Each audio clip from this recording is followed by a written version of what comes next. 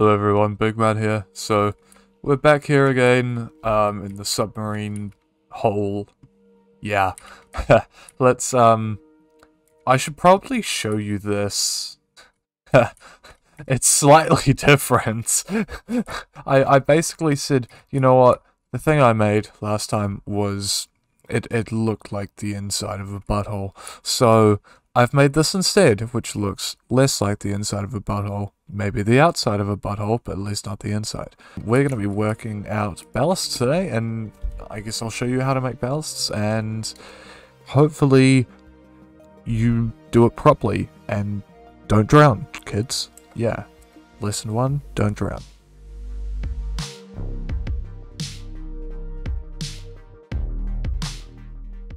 So the first thing is, is you're going to want to have ballast tanks. Now, in, in the previous video, obviously, we did make ballast tanks, and they're basically just big water bottles, and you fill them with water. I've got this big, thick thing, and what I'm going to do is I'm going to put a hole in the front, and a hole in the back. Nice. Now, in terms of actually making the ballasts, you're going to need fluid port in and a fluid port out. It doesn't really matter. I think it, it, it, yeah, it really doesn't matter which end you make your in and out, but whatever end you do, just make sure you, that they're not the same. You don't have two ins or two outs.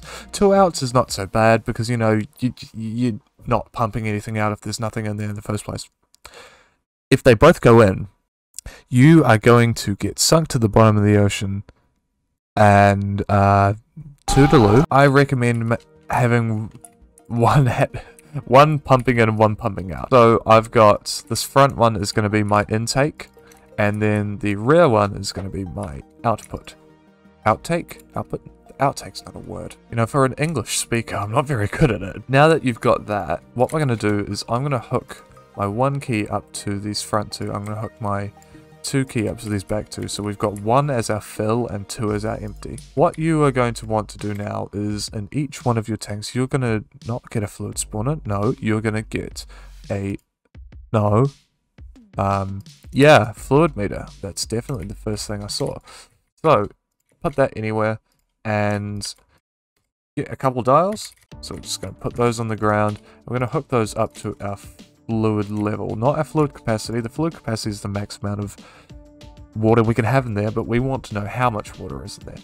We can know about the fluid capacity later on when we're down the track, but for now, we don't need to know how fat we can get, we just need to know how fat we are. Now that that's all sorted, um, if you have L yeah, no, just put infinite electric on, please. It's as simple as that thank me later. Like, really, you will... It's so easy. Okay, now... Whoops, I just jumped in the... No, don't! Oh, you bastard. I'm just gonna hop in, hit one, and I'm just going to come back here. And as you can see, we're filling up. And yeah, um, this is a case of wait until these stop moving. If they stop moving and you haven't sunk underwater, you need to fill more water or you need to increase the weight of your submarine.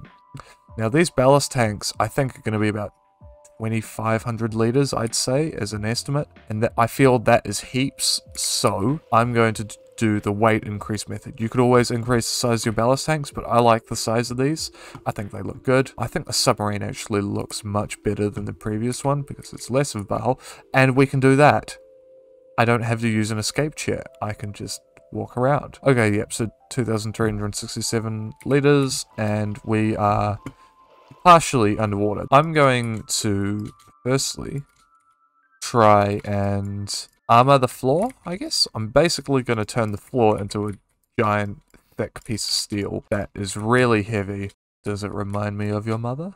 Yes. Think maybe some batteries. Chuck those in there. I might get some more weight blocks again and just put them out like that so it's it looks really structurally strong. Remember, weight blocks are more dense than batteries, but you have to have somewhere to put your batteries if you've got an electric submarine. Underneath works, um, because batteries don't get waterlogged in this game, and I guess a real lead acid battery, I'm assuming these are lead acid, they could be lithium ion.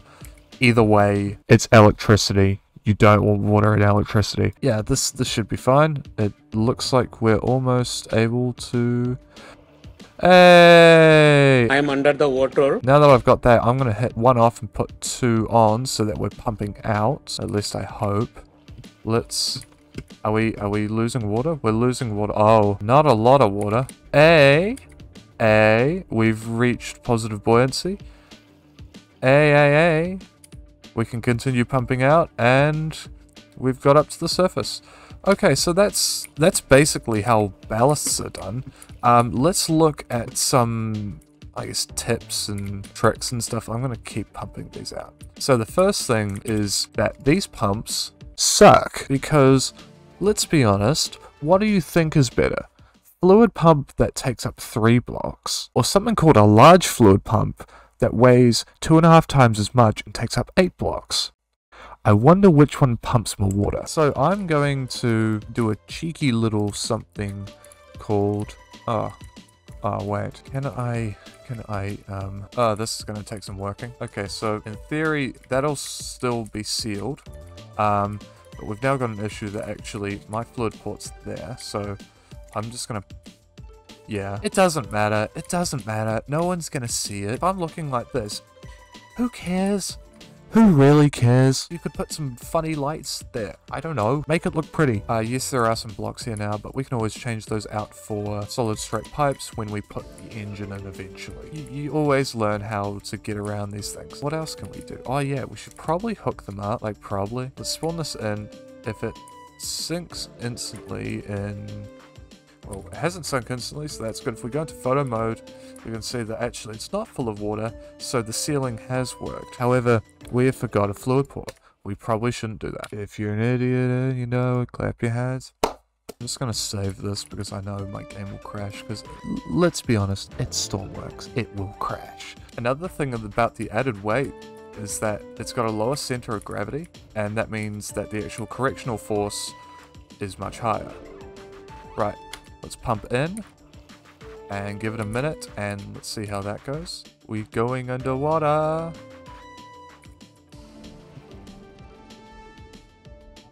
We are under the water. Alrighty, um, press 2 and you can see we've got lots of water going out.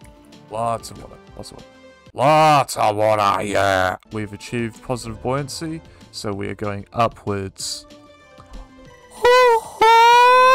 That's meant to be in kind of angel glowing sound. That sounded really bad. And we can continue pumping out if we want the submarine to sit even higher in the water. Yeah. Oh my god, I can't believe I made that noise. What? Um.